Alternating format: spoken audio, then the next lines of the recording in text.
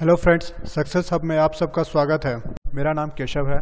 चूँकि आप जानते हैं सिंडिकेट बैंक पीओ ने अपनी इस साल एक वैकेंसी निकाली है, जिसमें 500 सीट है। ओके दोस्तों तो 500 सीट है और एग्ज़ाम होने वाली है एटीन फरवरी को तो आज से एग्जैक्ट वन मंथ लेफ़्ट है। ओके तो इस वन मंथ का कैसे फुल यूटिलाइजेशन किया जाए तो मैं आपको इस वीडियो में एक फुल स्ट्रैटेजी और प्लान प्लान वे में बताऊँगा। ओके तो सबसे पहला मेरा एक टारगेट होना चाहिए कि हमें इस 100 200 मार्क्स में कितने मार्क्स लाने हैं, ओके?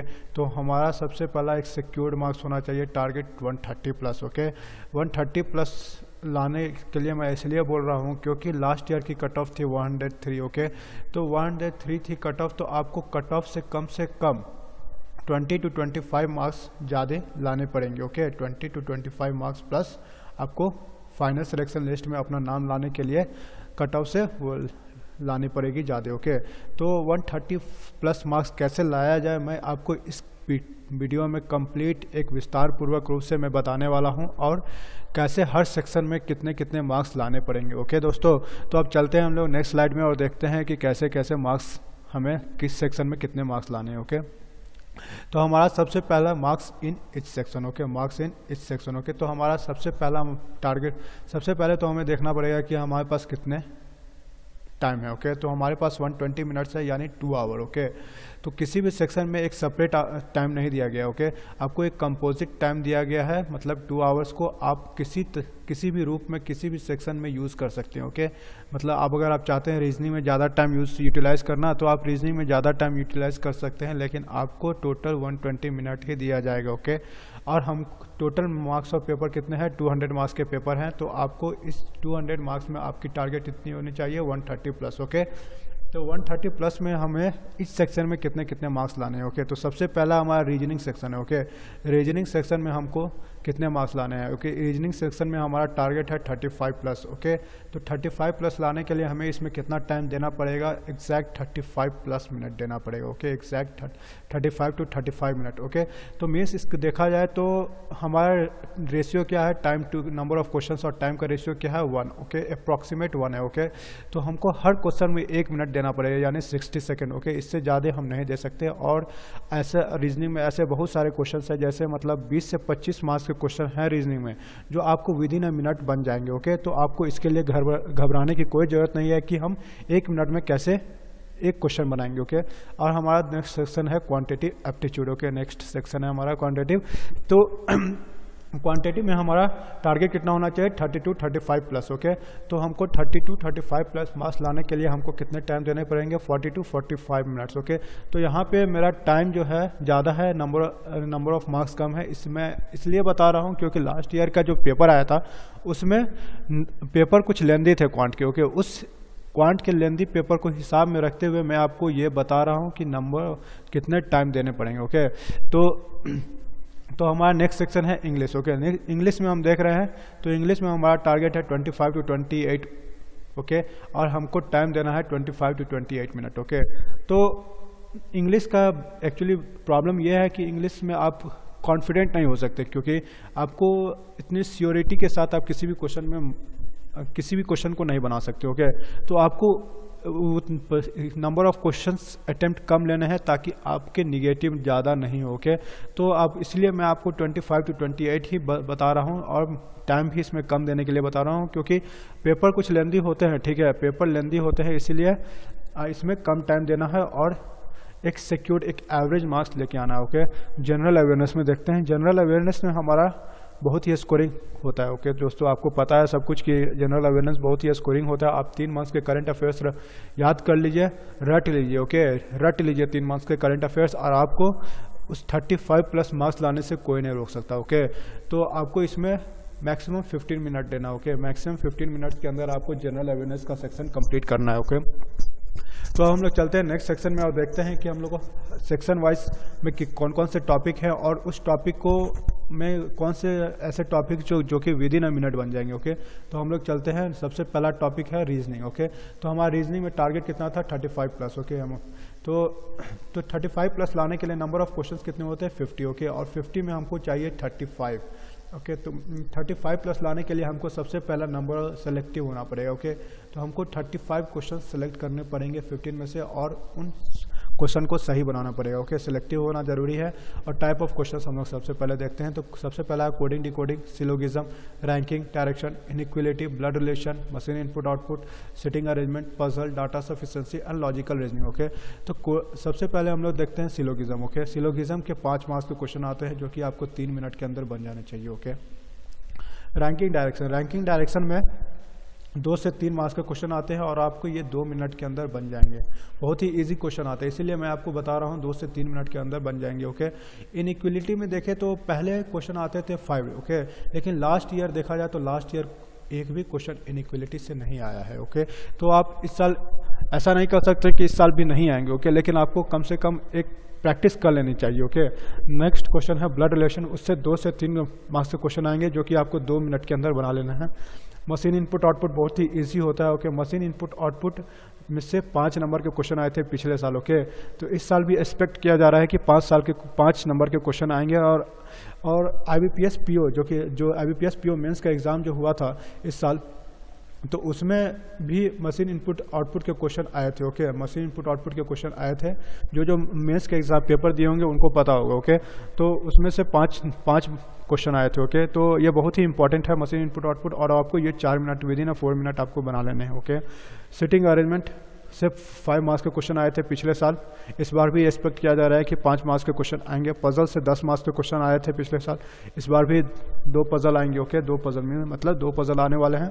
डाटा सफिशेंसी से पाँच क्वेश्चन आएँगे ओके ये पाँच क्वेश्चन डाटा सफिशेंसी बहुत ही ईजी होता है। आपको तीन से चार मिनट के अंदर, तीन से चार मिनट के अंदर बना लेने ओके एल से एल आर से आते हैं, दस मार्क्स के क्वेश्चन ओके एल आर से दस मार्क्स के पिछले साल भी दस मार्क्स के क्वेश्चन आए थे ओके दोस्तों? तो इस साल भी दस मार्क्स के क्वेश्चन एक्सपेक्ट किए जा रहे हैं ओके तो ये दस मार्क्स के क्वेश्चन को आपको within a five minute में अटेम्प्ट कर लेना है ओके और नेक्स्ट है coding decoding okay coding decoding से देखा जाए तो पाँच मार्क्स के क्वेश्चन थे पिछले साल ओके तो पेपर लेंदी करने के लिए हो सकता है कि ये आपको दो से तीन क्वेश्चन दे और दो मार्क्स के क्वेश्चन कुछ और ऐड कर दे।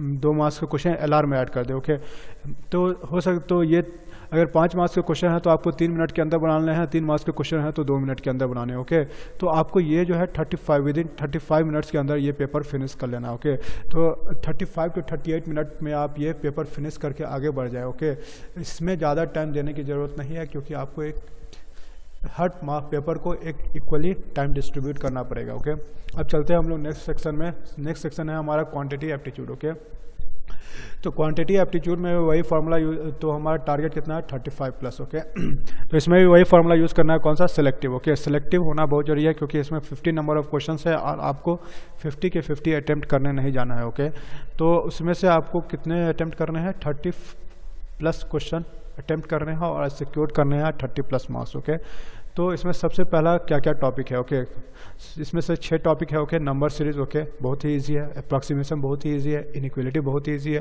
डाटा सफिशेंसी भी बहुत ईजी आते हैं। डाटा इंटरप्रटेशन बहुत ईजी आते हैं। मिसलेनियस ओके थोड़ा मिसलेनियस लो लेंदी आ जाते हैं। अब लेंदी हो गए हैं लेकिन इजी रहते हैं ओके okay, अगर अटैम्प्ट किया जाए तो। तो पहले हम लोग को पहले कहाँ से स्टार्ट करना है ठीक है? हम लोग को तो सबसे पहले हम लोग को नंबर सीरीज़ से स्टार्ट करना है, ठीक है? नंबर सीरीज़ में पाँच क्वेश्चन आते हैं, ओके? जिसमें से तीन क्वेश्चन जो है, वो बहुत ही इजी होते हैं, ओके? तो ये जो है, हमको तीन मिनट के अंदर फिनिश कर लेना है, ओके? अप्रॉक्सीमेशन देखा जाए तो अप्रॉक्सीमेशन से पिछले साल पिछले साल सिंडिकेट बैंक पीओ में पाँच मार्क्स के क्वेश्चन थे, और ये बहुत ही ईजी होते हैं, इसलिए इसको तीन मिनट के अंदर ही फिनिश करना है, ओके? अगर इनक्वलिटी इनक्वलिटी में देखा जाए तो हमको मतलब इनक्वलिटी से पिछले साल क्वेश्चन नहीं आए थे ओके दोस्तों? लेकिन अगर आएँगे तो पाँच मार्क्स के क्वेश्चन आएँगे। मतलब लेकिन अब इनक्वलिटी बहुत ही पुराना हो गया ओके तो इनक्वलिटी से क्वेश्चन है, इसके बदले अप्रॉक्सीमेशन और इनक्वलिटी यही दोनों या तो ये दोनों में से कोई एक आएँगे ओके इनक्वलिटी या अप्रॉक्सीमेशन से अप्रॉक्सीमेशन में से कोई एक आएँगे ओके डाटा सफिशेंसी से पाँच मार्क्स के क्वेश्चन आए थे ओके और इसको आपको तीन से चार मिनट के अंदर फिनिश करना है okay DI data interpretation okay data interpretation थोड़ा लेंदी हो जा लेंदी होते हैं ओके तो इसमें से 20 मार्क्स के क्वेश्चन थे और चार पजल चार डी आई आए थे ओके जिसमें से दो डी आई जो होते हैं, वो बहुत ही ईजी होते हैं और आपको ये दो डी आई हो गए मतलब 12 मिनट के अंदर 12 मिनट के अंदर डी आई फिनिश करने हैं, दो डी आई बाकी दो डी आई जो है, उसमें से एक डी आई अटैम्प्ट कीजिए okay at least one D I मतलब टोटल थ्री डी आई आपको अटैम्प्ट करने हैं ओके तो ये थर्ड डी जो है, उसको आप सेवन टू एट मिनट में फिनिश कर लीजिए ओके अटैम्प्ट करिए। और मिसलेनियस मिसलेनियस लेंदी हो जाते हैं ओके इसमें से सबसे पहले वर्ड प्रॉब्लम आते हैं ओके उनको क्वेश्चन समझने में ही वन मिनट लग जाते हैं ओके उसके बाद आप सॉल्व कीजिए ओके तो इसके लिए आपको इसमें से पंद्रह मार्क्स के क्वेश्चन आएँगे, कम और पंद्रह मार्क्स के क्वेश्चन जो है, उसमें से पाँच क्वेश्चन जो होंगे, वो आपको रहेंगे, जो कि छः सात से आठ मिनट के अंदर बन जाए ओके सात से आठ मिनट के अंदर वो बन जाए ओके तो टोटल आपको थर्टी प्लस टारगेट करना है और वो बहुत ही इजी टारगेट हो सकता है अगर आप क्वेश्चन को सेलेक्ट सिलेक्शन करके बनाए तब। ओके okay, अगर आप रैंडमली स्टार्ट कर दिए शुरू से स्टार्ट कर दिए तो ऐसा नहीं हो ऐसा हो जाएगा कि आपको पहले पाँच क्वेश्चन टफ मिल जाए और उस क्वेश्चन उस क्वेश्चन में फंस जाए। तो आपको सबसे पहले नंबर सीरीज़ अटैम्प्ट कर लेना है अप्रॉक्सीमेशन का क्वेश्चन मिले उसको अटैम्प्ट कर लें या इनक्वलिटी के मिले उसको अटैम्प्ट कर लें फिर डाटा सफिशियंसी अटैम्प्ट कर लें फिर डी आई अटैम्प्ट कर ले ओके? फिर डी आई अटैम्प्ट कर लें लास्ट में मिसलेनियस क्वेश्चन पे जाएँ उसको अटैम्प्ट करें ठीक है? अब चलते हैं हम लोग नेक्स्ट सेक्शन में जो कि है रीजनिंग सेक्शन ओके? तो हमारा नेक्स्ट सेक्शन है क्या? इंग्लिश सेक्शन ओके दोस्तों? तो इंग्लिश सेक्शन में हमको, मेरा टारगेट क्या है? 25 प्लस ओके 25 प्लस लाना है हमको।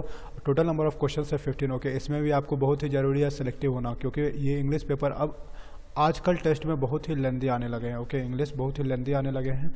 तो हमको इसमें बहुत ही सिलेक्टिव हो जाना पड़ेगा और जो सही है, जिसमें हम 100 परसेंट श्योर हैं ओके 100 परसेंट श्योर हैं, उसी को बनाना है ओके तो हमारा सबसे पहले देखना है कि टाइप ऑफ़ क्वेश्चंस क्या है। Reading comprehension parajumble cloze test sentence arrangement fill in the blanks sentence improvement odd one out and sentence connector okay तो हमारा रीडिंग कंप्रीहेंशन इसमें से दो कंप्रीहेंशन होंगे ओके तो दो कंप्रीहेंशन में एक कंप्रीहेंशन में सात क्वेश्चन होंगे और दूसरे कंप्रीहेंशन में आठ क्वेश्चन होंगे ओके तो दे तो इसको कैसे बनाए ओके सात कंप्रीहेंशन तो इसमें से एक कंप्रीहेंशन आपको बनाना ही पड़ेगा ओके क्योंकि एक कंप्रीहेंशन बनाने के लिए आपको टाइम देना पड़ेगा सा, सात मिनट ओके सेवन मिनट में आपको वो कंप्रीहेंशन सॉल्व करना है ओके एक क्वेश्चन को मतलब एक कंप्रीहेंशन को ओके तो नेक्स्ट है पैराजम्बल्ड पैराजम्बल्ड में फाइव मार्क्स के क्वेश्चन थे ओके ये आपको तीन मिनट के अंदर बनाना है ओके क्लोज टेस्ट ओके दोस्तों क्लोज टेस्ट से पाँच मार्क्स के क्वेश्चन हो गया है।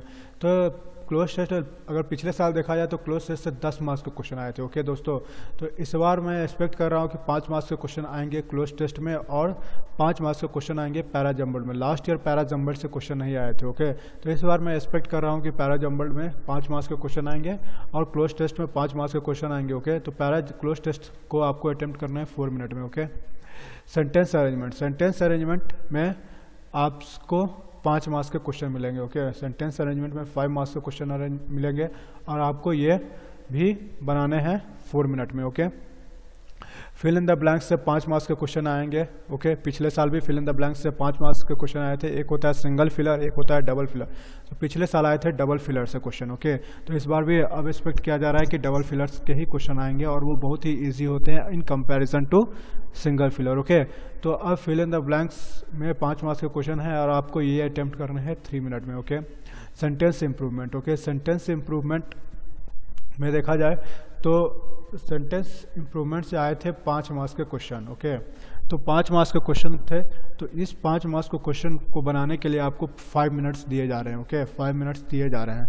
Odd one out okay odd one out means हो गया कि एक पैराग्राफ दिया जाएगा और पैराग्राफ में फिर एक ऑप्शन दिया जाएगा ओके तो उस पैराग्राफ में आपको यह डिटरमाइन करना है कि कौन से जो है उस पैराग्राफ में फिट नहीं करेंगे, या फिर आपको पाँच पाँच ऑप्शंस दिए जाएँगे। पाँच ऑप्शंस में आपको हर पाँच लाइंस डिफरेंट लाइंस दिए जाएँगे ओके तो उस डिफरेंट लाइंस को आपको पढ़ के समझना है कि आपको उनमें से कौन सा है जो इस सारे सारे सेंटेंस को मिला दिया जाए तो उस पैराग्राफ में फिट नहीं होगा और इसके लिए आपको चार मिनट में ये क्वेश्चन अटैम्प्ट करने हैं ओके चार मिनट मैक्सिमम फोर मिनट ही देना ओके आपको फोर मिनट के अंदर वो सब सब कुछ सॉल्व करना है। फिर है सेंटेंस कनेक्टर ये बहुत ही इजी होता है सेंटेंस कनेक्टर दोस्तों। तो इसके लिए इसमें से पाँच क्वेश्चन अटेम्प्ट करने हैं और इसके लिए आपको है फोर मिनट दिए जाएँगे, ओके? फोर मिनट में आपको ये अटेम्प्ट करने हैं, ओके? तो हमको अब सबसे पहले देखना है कि पहले कौन सा सेक्शन कौन से टॉपिक फ़र्स्ट अटैम्प्ट किया जाए ओके तो देखा जाए तो रीडिंग कम्प्रीहेंसन एक आप अटैम्प्ट कर लें स्टार्टिंग में ओके रीडिंग कम्प्रीहेंसन अटैम्प्ट कर लें।